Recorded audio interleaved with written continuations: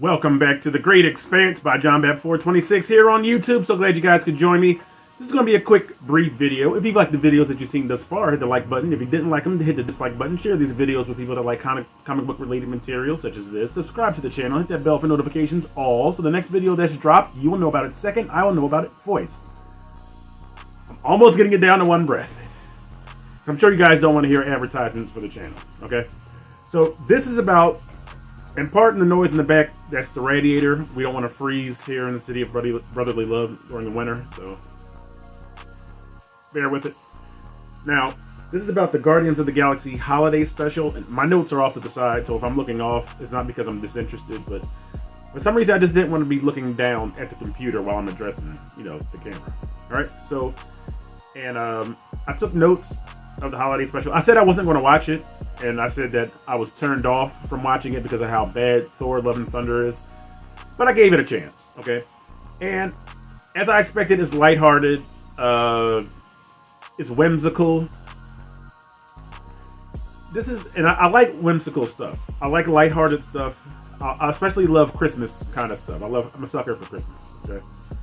And there are moments in the holiday special where kind of like, you know, a little tug, you know what I mean? A few tugs. Because, uh, you know, as I get older, I'm just more appreciative of, you know, family gatherings and collections of people, groups, and friends. That, that's just a little bit of transparency. So, critiquing the episode is very goofy. Not really whimsical. Not really a lot of charm to it. Not, not, no real Christmas magic except in a couple of moments. And the idea is that Mantis and Drax notice Peter sulking in Knowhere because Yondu bought Knowhere from the Collector. Now, I thought the Collector was dead. I thought Thanos, like, in Infinity War. And that's how he got the uh, Power Stone. Not the Power Stone, uh, whatever stone, the, the Aether. Whatever the Aether represented in, uh, I don't remember what it was in uh, Thor: The Dark World. It'll appear here, which stone it was. But you know, Knowhere was like in ruins. It was on fire. I thought he killed the collector. Maybe the collector disappeared, or you know, vamoosed. So now Knowhere is decorated like a, a, Christmas town. Well, no, it wasn't decorated like a Christmas town, but it looked like an old West town. And basically, it just looked like a studio with a bunch of actors dressed up in goofy alien garb. All right. So anyway, back to the point of the story. Mantis and Drax, they want to cheer Peter up because they can tell that he's still sad about Gamora being gone. And I honestly thought that it was possible to get a hint of Gamora's whereabouts while still being a lighthearted special. Like I thought there could there could be a point to this special. So Drax and Mantis reason, you know, those two reason is a very fluid subject that he will only feel better unless the legendary Kevin Bacon, yes, the actor, is brought to Peter as a gift. So they go to Earth. Hijinks ensue. Uh, typical Marvel fashion, not a lot of thinking involved. Or as I called it, the brain cell deadening of Disney. So they secure Kevin Bacon. They take him to Knowhere where the Guardians are stationed. Groot has a practical suit rhymes. Groot suit. Uh, does it work? Maybe. I'm not, I'm not sure. I don't. I just don't really have a, a huge opinion of it right now. Rather than Groot being CGI rendered. Uh, Rocket is in it for just a little bit. Uh, there's more Kraglin than any of the other Guardians. Nebula's in it for a few lines.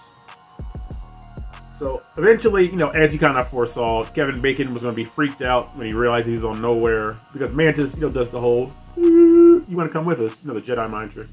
So he's enjoying it, and then uh, Star Lord Peter Quill says, "All right, take the spell off." So he's like freaking out, and then you know when Kraglin explains to him their purpose, Mantis and Drax's purpose of bringing Kevin Bacon to Knowhere Kevin Bacon calls Kyra Sedgwick, who I wanted to see. I wanted to see Kira in the cameo, but you just saw her name on the phone, the phone ID. And Kevin Bacon says, you know what, these people have to know what Christmas is about, so I'm gonna be a little late for Christmas. So he's singing with the old 97s, the rock group. And that's about it. Nebula gives Rocket Raccoon Bucky's vibranium arm. And see, you can't do that with me. Like, I, I think too much. How did they get the arm? Why? you know, just just for a gift for Rocket, just like an Easter egg. Like, hey, remember that? It's not very funny. It's, it's, it's more stupid than funny. And immediately, I was thinking, the Justice League animated episode Comfort and Joy is a thousand times better than this. There's a, a story that's still pushed forward in that standalone episode because Hawkgirl and Green Lantern John Stewart get closer. So it's still pushing a story forward. There's still character development involved. Now, Martian Manhunter, he's invited to Christmas at the uh, Kent farm in Smallville by Superman so that he wouldn't be alone. It's charming. And it's not stupid or goofy. Hawkgirl and Green Lantern, they go off world, they go to an alien planet, get into a bar fight. And it's, it's still more magical th than this special.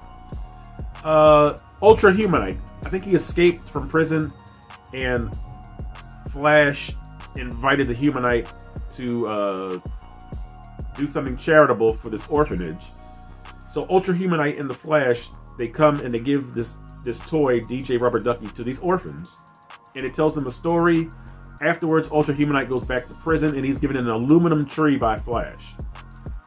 And it's, more touching, more heartfelt, and more heartwarming than this. And this thing, the uh, Comfort and Joy Justice League episode was made like 16 years ago or more.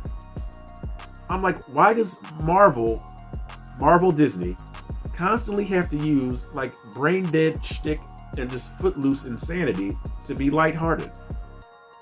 Lighthearted shouldn't be lightheaded. You know what I mean?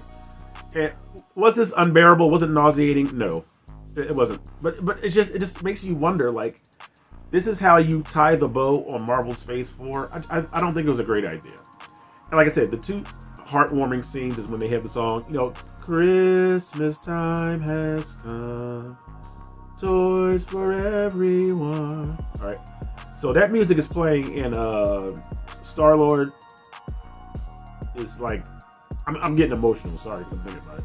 It's like looking around and like the, Christmas lights, the whole town town is there and like Mantis, for some reason that got me. I don't know why.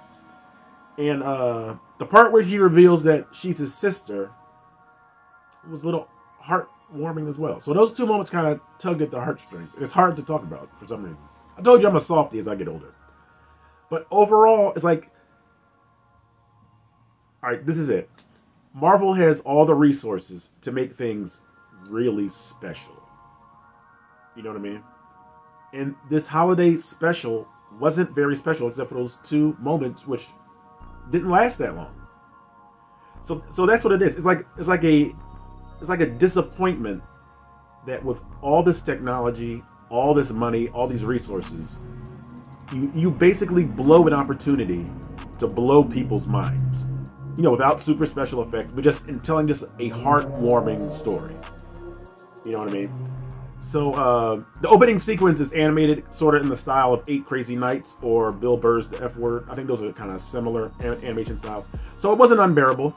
But if I had to choose between this Guardians of the Galaxy Holiday Special and the Justice League episode Comfort and Joy, I'll go with Justice League and uh, Justice League Comfort and Joy.